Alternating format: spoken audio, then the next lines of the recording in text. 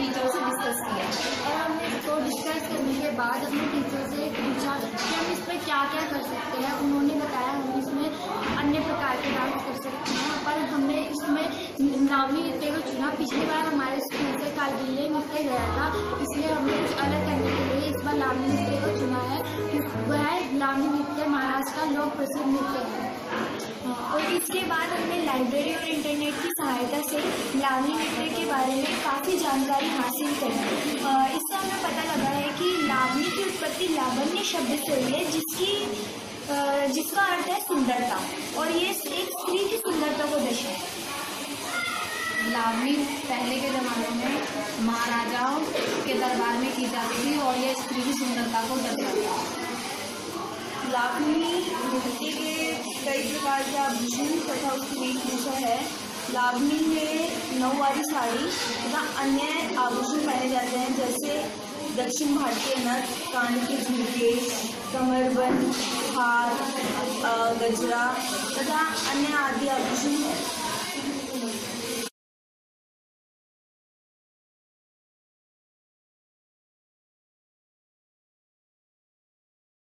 आज हमारे स्कूल में लावनी से जुड़े हुए कलाकार आने वाले हैं।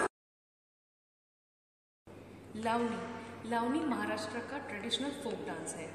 और लावनी का मतलब होता है लावण्य।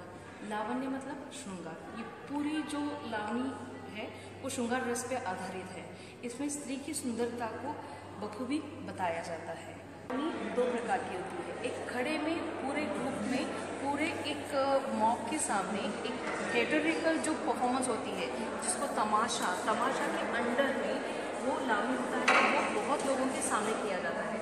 और एक होती है बैठकी की लावनी जिसको बैठ के एक सिंगल सिंगर, वो डांस भी करती है, वो गाना भी गाती है और पूरे हावभाव के साथ अपने पूरे श्रृंगार रस को दिखाती है। और वहाँ कुछ ऑडियंस होती है जो वो बैठ के देखते हैं जस्ट लाइक मुजराई। ठीक है? तो ये दो प्रकार की लावनी हैं। और कुछ किसी का सवाल है? किस किस अवसर लावनी बेसिकली कोई भी ओकेजन हो, जैसे कुछ तीज त्यौहार आ रहे हैं तो किसी ने कुछ ऑर्गेनाइज किया है तो वो हो गए। बहुत सारे गाँव में होता है कि मेला लगता है। किसी भी देवी का मतलब मेला है या किसी भी यात्रा है, जात्रा है तो उस टाइम पे एक कलापतक होता है, एक तमाशा आता है, एक नौटंकी पूरी आती है, मंडली आती है तो उस मंडली में ये तमाशा के अंडर में लावनी की जाती है। तो लावनी को इस तमाशा में करने से पहले होता है गन गौड़न फिर आता है तमाशा। तो प्रॉपर तमाशा वो गन और गौड़न के बाद शुरू होता है। गन मतलब गणेश जी की पूजा। गणेश जी की पूजा अर्चा में गन होता है। गौड़न मतलब कृष्ण और गोपियाँ। मैम लावनी में कौन सी साड़ी पहनी जाती है? लावनी में जो साड़ी यूज़ की जाती है वो है नौ गज की होती है। उसको बोलते हैं नौवारी। नौवारी साड़ी। उसको पहनने का भी तरीका, जैसे जेंट्स लोग धोती पहनते हैं, नॉर्मल हम साड़ी को ड्रेप करते हैं, लेते हैं और जो आगे का प्लीट्स का पोर्शन होता है, उसको डिवाइड करके, जो पहली प्लेट आती है, उसको हम पीछे से आगे लेते हैं एंड जो आगे की प्लेट्स होती है, उसको आगे से हम पीछे लगाते हैं। तो पीछे में एक दो हमको ऐसी पट्टियाँ दिखती है, ठीक है? तो वो पोछा आता है, ठीक है? तो कासूटा बोलते हैं। जो ये साड़ी पहनते हैं, इस साड़ी को बोलते हैं कासूटा साड़ी। मराठी में इसको बोलते हैं कासूटा साड़ी। नौवारी साड़ी है नौवारी में भी पहले